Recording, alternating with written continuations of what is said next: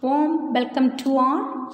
In this video, we are going to discuss heat treatment of steel.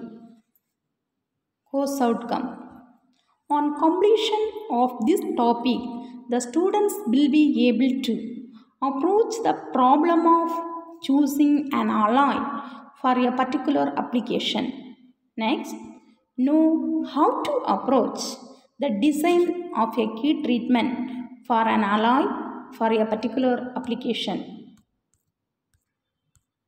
First upon, the definition of heat treatment of steel. The process of heating and cooling of metal at controlled condition to get desired improvement in mechanical properties is known as heat treatment of steel. Let us see purpose of heat treatment. Heat treatment it is used to increase the mechanical properties, ductility, high strength, increase the hardness, improve the toughness, improve the machinability, refine the grain structure, improve the wear resistance, corrosion resistance, etc. Next,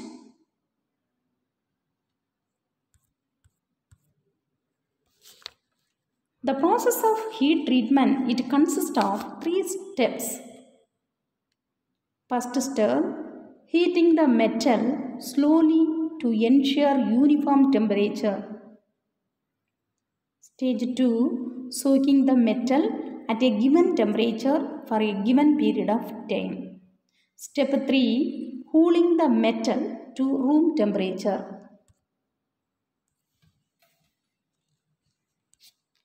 Let us see what are the types of heat treatment of steel.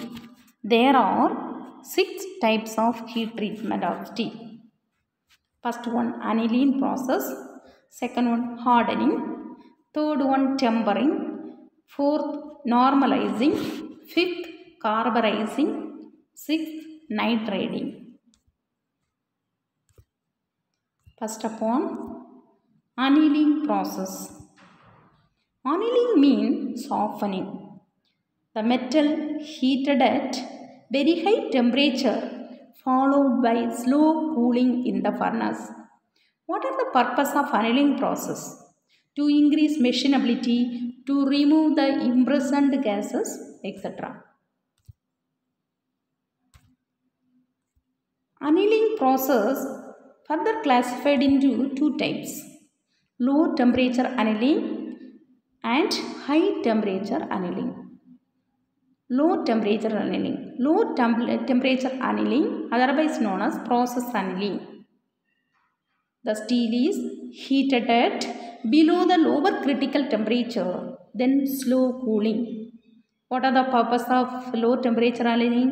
To increase machinability, to reduce hardness, to increase ductility. Next heading high temperature annealing. High uh, temperature annealing, otherwise known as full annealing.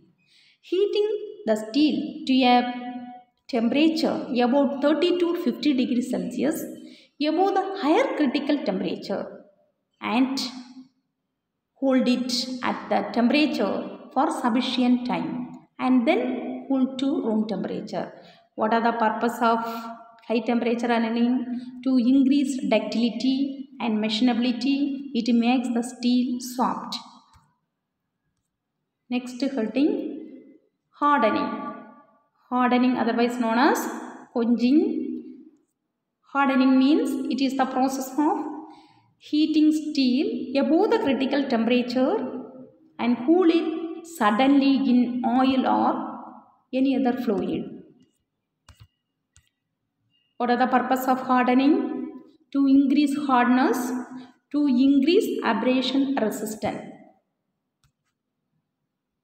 Next process, tempering. It is the process of heating the already hardened steel to a temperature lower than its own hardening temperature and then cool slowly. What are the purpose of tempering? To improve stress and strain, to reduce brittleness and hardness. Next process, normalizing. It is the process of heating the steel to a definite temperature and allow to cool gradually in air. Purpose of normalizing process to remove the internal stress, to increase toughness. Normalized steel is suitable for the use in engineering works. Next types carburizing. The mild steel article is taken in a cast iron box. Cast iron box containing small piece of charcoal.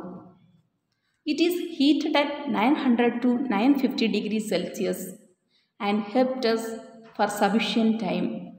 So that carbon is absorbed. Then the article is cooled slowly within iron box itself. What are the purpose of carburizing process? To produce hard wear resistant surface on steel article. Next process, nitriding. Nitriding is the one of the process heating the metal in the presence of ammonia at a temperature 550 degrees Celsius. Nitrogen combined with the surface of alloy to form hard nitride. Purpose to get super hot surface.